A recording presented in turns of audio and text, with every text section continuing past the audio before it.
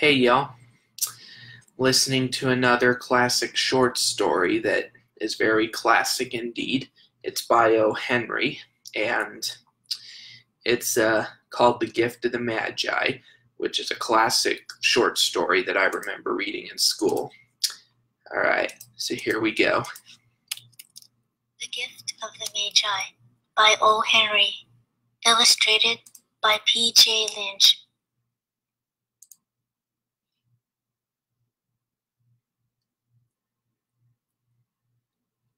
One dollar and eighty-seven cents.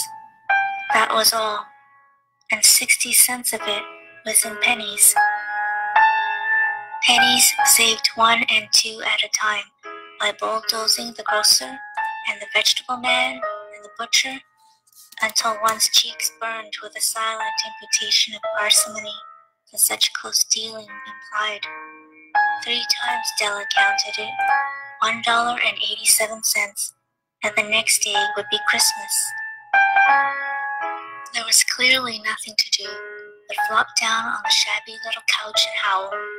So Della did it, which instigates the moral reflection that life is made up of sobs, sniffles, and smiles, with sniffles predominating.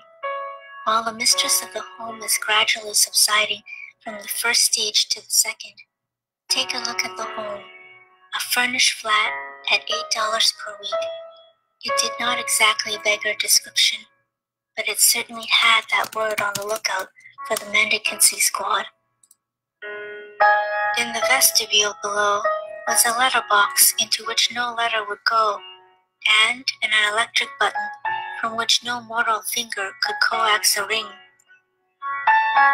Also, appertaining thereunto was a card bearing the name Mr. James Dillingham Young.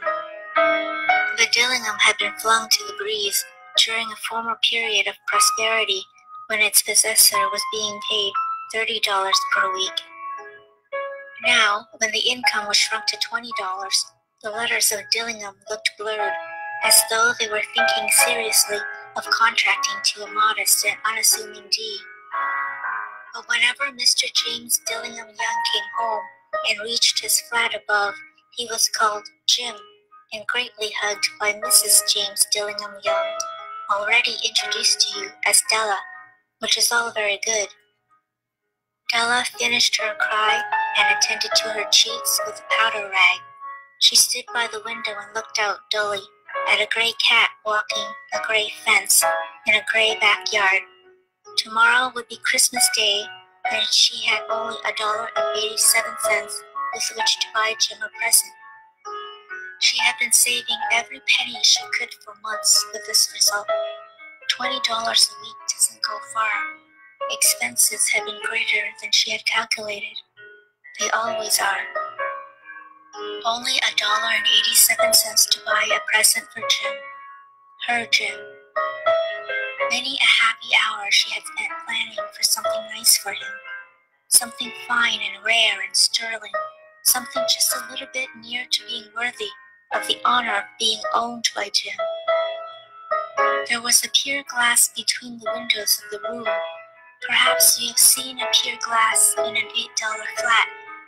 A very thin and very agile person may, by observing his reflection in a rapid sequence of longitudinal strips, obtain a fairly accurate conception of his looks. Della, being slender, had mastered the art. Suddenly, she whirled from the window and stood before the glass. Her eyes were shining brilliantly, but her face had lost its color. Within 20 seconds, rapidly, she pulled down her hair and let it fall to its full length. Now, there were two possessions of the James Dillingham Youngs in which they both took a mighty pride. One was Jim's gold watch that had been his father's and his grandfather's. The other was Della's hair. Had the Queen of Sheba lived in the flat across the air shaft, Della would have let her hair hang out the window some day to dry just to depreciate Her Majesty's jewels and gifts. Had King Solomon been the janitor, with all his treasures piled up in the basement, Jim would have pulled out his watch every time he passed, just to see him pluck at his beard from envy. So now Della's beautiful hair fell about her, rippling and shining like a cascade of brown waters. It reached below her knee and made itself almost a garment for her.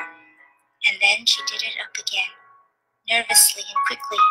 Once she faltered for a minute and stood still while a tear or two splashed on the worn red carpet. On went her old brown jacket, on went her old brown hat. With a whirl of skirts and with a brilliant sparkle still in her eyes, she fluttered out the door and down the stairs to the street. Where she stopped, the sign read, Madame Sofronie, hair goods of all kinds. One flight up Della ran and collected herself, panting. Madame, large, too white, chilly, hardly looked at Sofronie. Will you buy my hair? asked Della. I buy hair, said Madame. Take your hat off and let's have a sight at the looks of it. Down ripples the brown cascade. Twenty dollars, said Madame, lifting the mask with a practiced hand. Give it to me quick, said Della. Oh, and the next two hours tripped by on rosy wings. Forget the hashed metaphor. She was ransacking the stores for Jim's present. She found it at last. It surely had been made for Jim and no one else. There was no other like it in any of the stores, and she had turned all of them inside out. It was a platinum fob chain, simple and chaste in design, properly proclaiming its value by substance alone, and not by meretricious ornamentation, as all good things should do. It was even worthy of the watch. As soon as she saw it, she knew that it must be Jim's. It was just like him. Quietness and value, the description applied to both. Twenty-one dollars they took from her for it, as she hurried home with the eighty-seven cents. With that chain on his watch, Jim might be properly anxious about the time in any company. Grand as the watch was, he sometimes looked at it on the sly on account of the old leather strap that he used in place of the chain. When Della reached home, her intoxication gave way a little to prudence and reason. She got out her curling irons and lighted the gas and went to work, repairing the ravages made by generosity added to love, which is always a tremendous task, dear friends, a mammoth task. Within 40 minutes, her head was covered with tiny, close lying curls that made her look wonderfully like a truant schoolboy. She looked at her reflection in the mirror long, carefully, and critically. If Jim doesn't kill me, she said to herself, before he takes a second look at me, he'll say I look like a Coney Island chorus girl. What could I do? Oh, what could I do with a dollar and eighty-seven cents? At seven o'clock, the coffee was made and the frying pan was on the back of the stove, hot and ready to cook the chops. Jim was never late. Della doubled the fob chain in her hand and sat on the corner of the table near the door that he always entered. Then she heard his step on the stair away down on the first flight, and she turned white for just a moment. She had a habit of saying little silent prayers about the simplest everyday things, and now she whispered, Please, God, make him think I'm still pretty. The door opened and Jim stepped in and closed it. He looked thin and very serious. Poor fellow, he was only 22, and to be burdened with a family. He needed a new overcoat, and he was without gloves. Jim stopped inside the door, as immovable as a setter at the scent of quail. His eyes were fixed upon Della, and there was an expression in them that she could not read, and it terrified her. It was not anger, nor surprise, nor disapproval, nor horror, nor any of the sentiments that she had prepared for. He simply stared at her fixedly with that peculiar expression on his face. Della wriggled off the table and went for him. Jim, darling, she cried, don't look at me that way. I had my hair cut off and sold it because I couldn't have lived through Christmas without giving you a present. You don't grow out again. You won't mind, will you? I just had to do it. My hair grows awfully fast.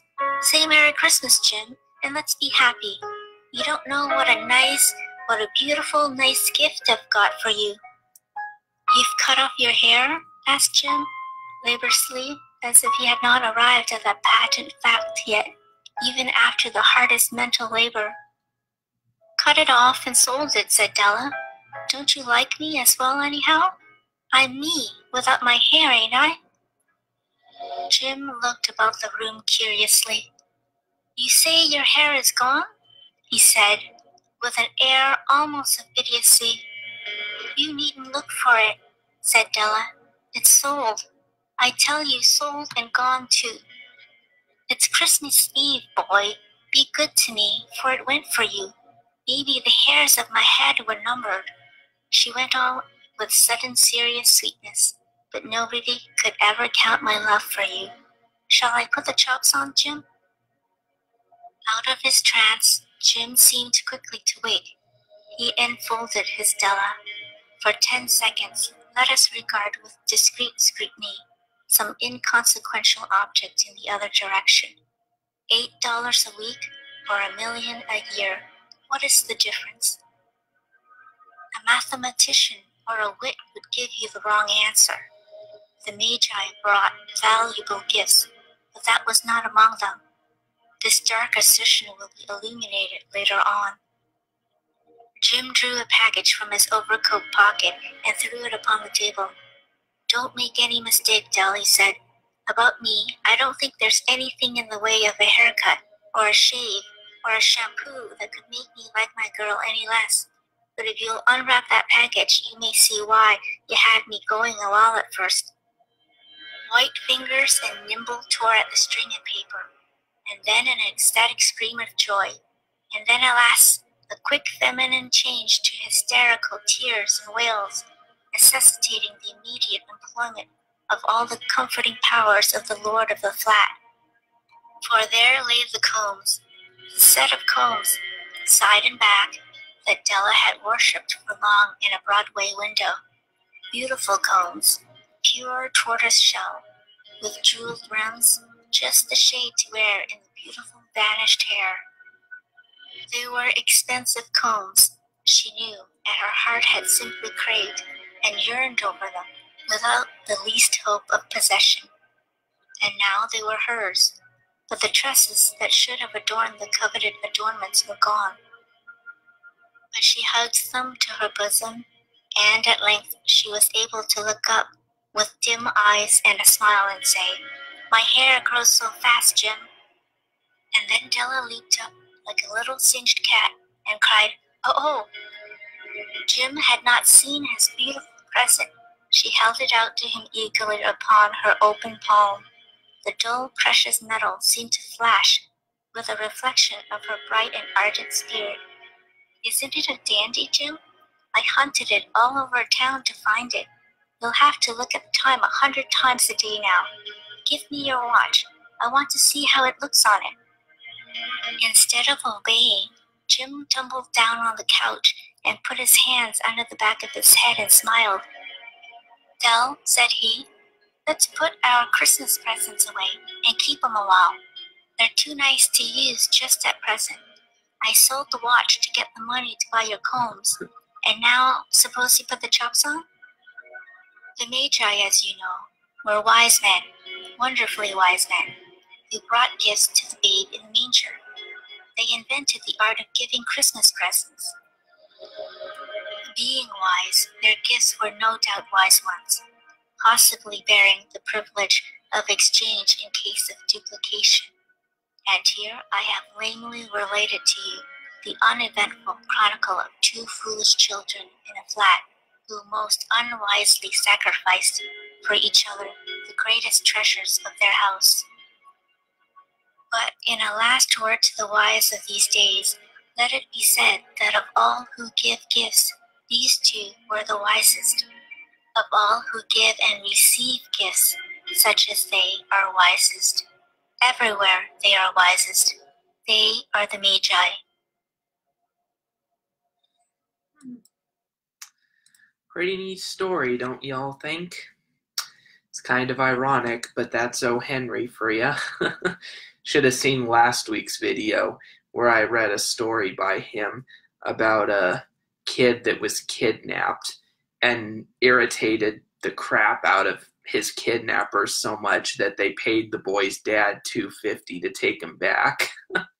oh, Henry is awesome. All right. Hope you all enjoyed it. Have a good one.